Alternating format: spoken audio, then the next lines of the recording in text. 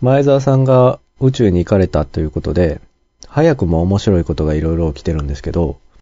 今回、宇宙に到着して最初のインタビューで、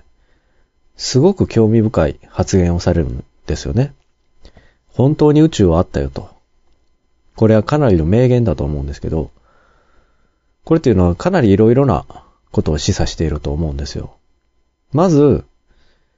世界の先進国の90%以上の人っていうのは、これを聞いて、何言ってんねんって思うと思うんですよね。当たり前やんと。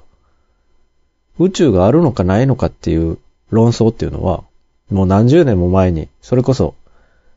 地球は多かったと。その時点で終わってるはずなんですよ。しかし、本当に宇宙はあったよと、前澤さんが発言されるんですよ。で、これは、僕が宇宙に行ったら、こういう発言する可能性があるんですよね。なぜかというと、僕はフラットアース説を知ってから、宇宙があるのかないのかに疑いを持ち始めてしまったんですよ。それまでは、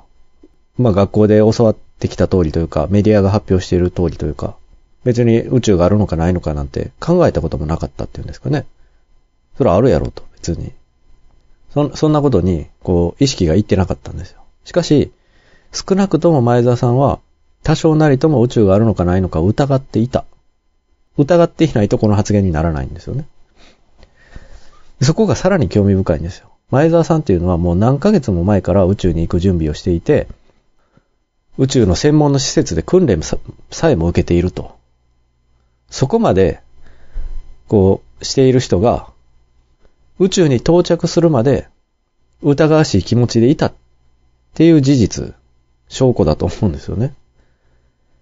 で、まあ、フラットアス説を知ってから、その、まあ、地球は絶対丸いんだ。地球は平面なんだとこ、どっちかに意見が分かれてるんですけど、まあ僕はどっちも分からないんですよね。確かめようがないので、前澤さんみたいに言ったわけでもないし、前澤さんがあったぞって言ったって、僕は分からんと。前澤さんは見たかもしれんけど、僕は見てないと。こうなるので、分からないんですけど、前澤さんみたいに宇宙の専門的な訓練をバーって受けて、そら、フィジカルの訓練だけじゃなくて、筆記的な、学術的な訓練、訓練というか勉強もしてるはずでしょと。その人でさえ宇宙があるのかどうか疑っていたっていうことの証拠なんですよね、この発言は。だから、いくら、その、巷の人が、いやいや、この学者がこういうことを言ってるから宇宙宇宙があるんだ。NASA がこう言ってるから宇宙があるんだって言っても、その専門、専門中の専門の訓練を受けた人でさえ、宇宙に行くまでは、疑いを持ってたっていうことの証拠になるんですよね、この発言が。そういう意味でもすごく興味深いんですよね。で、さらに、ある意味、フラットアース説の側の人っていうのは、この発言を持って、やはり怪しいと言ってる人もいるんですけど、僕はむしろ逆なんじゃないのかなと思うんですよ。僕も最初そう思ったんですけど、怪しいと。この発言怪しい。でも、そら、前澤さんはフラットアース説知ってて当然というか、何年も前から宇宙に行くぞって言って、言ってるぐらいなので、それは宇宙ってないらしいよっていう人に出会うだろうし、そういうツイッターもやってるのでコメントとかもいっぱい来るっていうのもあると思うんですよね。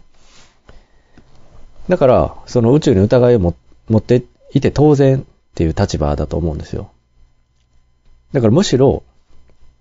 フラットアース説の人が言うように、スタジオ撮影で前澤さんが宇宙本当に宇宙はあったぞって発言する方が不自然なんですよ。どう考えても。なぜなら、スタジオ撮影するっていうことは、人々を騙すっていう行為なので、なんで人々を騙すのに、あえて、しかも90先進国の90%、日本では99%ぐらいの人が、もう宇宙があると信じきっていると。何もそこを疑っていないと。なのに、宇宙があるのかないのかの論争があることを示唆するような発言をさせるわけないはずなんですよね。スタジオ撮影であれば。だから前澤さんが本当に宇宙に行ったから、この発言をしたって考える方が自然なんですよね、実は。でも、人々を騙してきているとして、その人たちっていうのはもうアポロの時代から騙し続けていると。だから、その道のエキスパートとも言えるんですよね。だから逆の心理っていうんですかね。前澤さんがあの場面で、宇宙はあったぞと言った方が、宇宙があることをむしろ信じさせることができるんじゃないかと、そういうような、あの、心理作戦だった可能性もあるっちゃあるんですよね。だから結局、考えても決着はつかないんですけど、で、さらに別の観点で考えると、この発言がすごくおバカ発言っていうんですかね。あの、宇宙、まあ宇宙っていうものがあるとして、その中に地球が浮かんでいると、そういう前提ですよね、宇宙っていうのは。物体として存在しているかどうかわからないんですけど、概念としてはあると。その宇宙っていうものの中に地球があると。そう考えると、僕がここで YouTube 撮ってるここ、ここ宇宙なんですよね。だから僕もこれ言っていいんですよ、別に。宇宙あったぞと。ここ、ここ宇宙だと言えると思うんですよ。意味が変わらないんですよね。地球から400キロぐらい高いところに、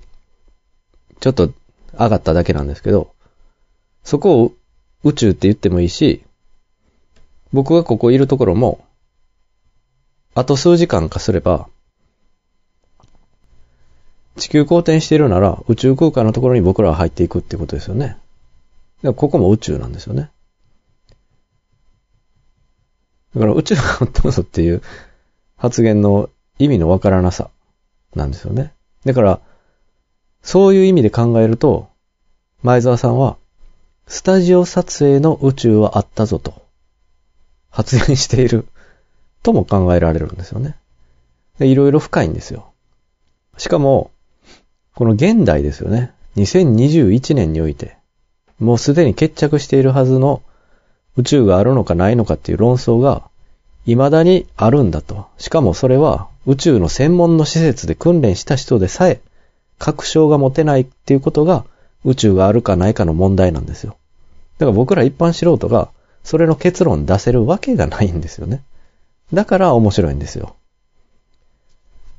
なので僕はこの件についてフラットアースなり宇宙の話が面白いと思ってるんですよね。サスペンス状態というか。犯人がわからないっていうんですかね。前澤さんはその犯人を見たのかもしれない。でも僕は見てないんですよ。だからわからないんですよね。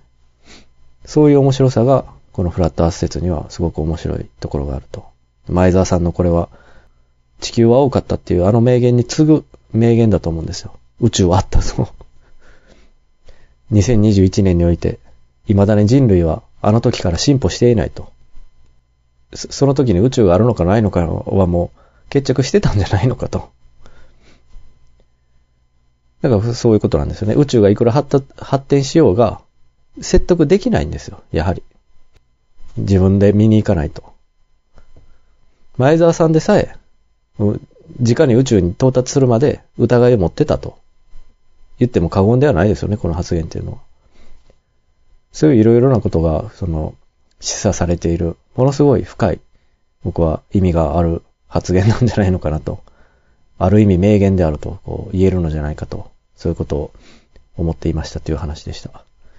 以上、芸術を僕は少しありがとうございました。チャンネル登録よろしくお願いいたします。